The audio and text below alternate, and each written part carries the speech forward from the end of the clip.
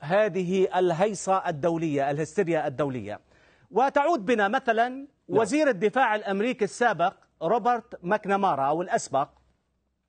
في خطاب له أمام نادي روما عام 1979 أه؟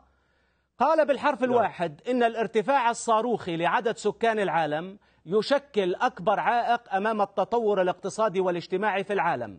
لهذا ينبغي علينا الآن وليس غدا أن نمنع وصول عدد سكان الكون إلى عشرة مليارات نسمة. وقال بالحرف الواحد لدينا خياران إما تخفيض معدل الولادات أو رفع معدل الوفيات. وهذا الكلام لمكنمرة مش إلي ها؟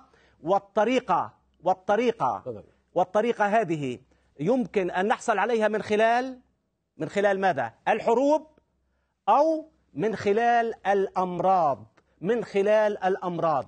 الآن الناس تتساءل ما هذا المرض الذي الآن بات يهدد البشرية؟ من الذي يقف وراءه؟ خاصة وأن الرئيس الصيني بعد تفشي المرض في يوهان بأيام قال سننتصر على الأعداء.